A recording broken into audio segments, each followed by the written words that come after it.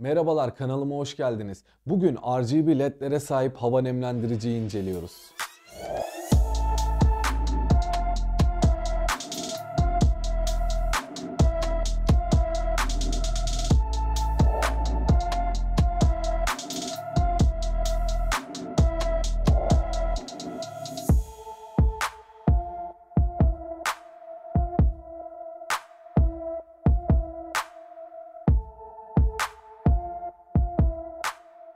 Bugünkü konuğumuza baktığımızda evinizin tamamen kokusunu, havasını değiştirecek bir ürün. Aslında bu ürün bir hava nemlendirici ama siz bunun içerisine su bazlı koku koyup hem evinizi nemlendirip hem de güzel kokulara ulaşabiliyorsunuz. Ürün minik ama işlevi gerçekten büyük. Şimdi birazdan kutusunu açacağız. Nasıl çalıştığını, neler yaptığını göstereceğim. Zaten beni Instagram'dan takip edenler biliyor. Öncelikle Instagram'da bunun bir Reels videosunu çekmiştim. Tekrardan kutulamasını yaptım. Sizlerle de paylaşmak için buradayım. Bu ürünün 320 litre su kapasitesi bulunuyor. Ekstradan RGB aydınlatmaya sahip ve USB ile çalışıyor. Siz bunu isterseniz powerbank'inizle isterseniz herhangi bir telefon adaptörüyle kullanabiliyorsunuz. İçerisinde bir filtre bulunuyor ve bu filtre sayesinde evinizi nemlendiriyor. Sabahları boğazınız, burnunuz kuru uyanıyorsanız muhtemelen bu ürünü deneyimledikten sonra boğaz kuruluğunuz, burun kuruluğunuz geçecektir. Çünkü ben deneyimledim yaklaşık bir buçuk aydır da kullanıyorum ürünü. Dediğim gibi paketine de bakarsanız birazcık hasar verdim. Çünkü kullanıyordum. Tekrardan bir paketleme yapıp sizlerle paylaşıyorum. O zaman bu küçük kutunun içerisinden neler çıkıyor hep birlikte bir bakalım. Kutu açılımına geçiyoruz. Kutunun dış tasarımı bu şekilde geliyor. Tabii ki de size böyle gelmeyecek. Ben bir buçuk aydır kullandığım için böyle. Şimdi hemen şurada açma yeri bulunuyor. Zaten kutu içerisinden çok fazla bir şey çıkmıyor. Hemen böyle bir kutumuzu açalım. Şuradaki poşeti tutarak yukarı doğru çekelim. Kutunun içerisinden bir adet böyle bir kullanım kılavuzu çıkıyor ve nasıl kullanacağınız yazıyor. Ekstra olarak bir adet garanti belgesi bulunuyor. Asıl önemli olan parça ise ürünün kendisi geliyor. Bu şekilde bir yapısı var. Şu kısımlardan RGB renkler çıkıyor. Burada micro USB ile şarj oluyor ve ön kısmında da açma kapama butonu bulunuyor.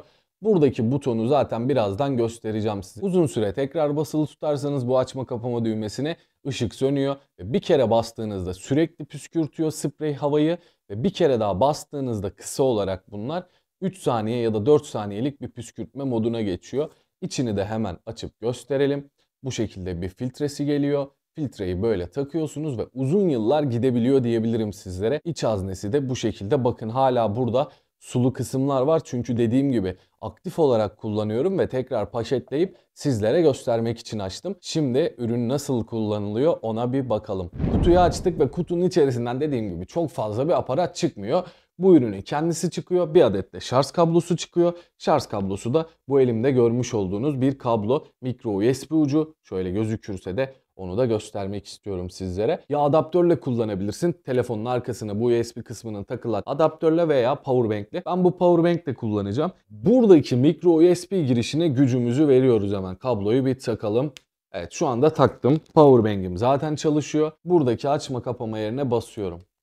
Ve görmüş olduğunuz gibi şu anda sürekli atan modda ve üstündeki RGB'yi de görebiliyorsunuz. Zaten bunların detay çekimini göstereceğim. Bir kere daha bastığımda ise direkt 4 saniye 5 saniyelik bir moda geçiyor. Böyle 3 saniye 4 saniye üflüyor ve 4-5 saniye dinleniyor tekrar 3-4 saniyede bir üflüyor. Bu daha iyi. Bu tarz kullanımda yani sürekli atmayan modda 4-5 saat gidiyor bu ürün. Benim deneyimlememe göre 4 saati görüyor ama sürekli atmayan modda 5-6 en baba 7 saati görüyor diyebilirim sizlere. Ürün yanımda çalışıyorken ben size birazcık teknik detaylarından da bahsedeyim hemen ürünün. Ürün akıllı bir ürün olduğu için otomatik kapanma yapabiliyor. USB ile şarj oluyor ve sessiz bir şekilde çalışıyor. Ürünün RGB led aydınlatmaları hem üst kısımda yoğun olarak gözüküyor. Kapağın alt kısmında bir şerit şeklinde bir aydınlatma bulunuyor. Sessiz çalışıyor olması çok büyük bir özellik. Anti-dry ve nano spray teknolojisine sahip olması da çok çok büyük bir avantaj. Ürün ABS plastikten yapılmış ama kalitesiz bir plastik değil bu arada onu söyleyeyim. Ses seviyesi 30 desibel duyulamayacak kadar az. Kullanım alanı ise 15 metrekare ile 20 metrekare aralığında kullanabiliyorsunuz bu ürünü. Benim salonum yaklaşık 30 metrekare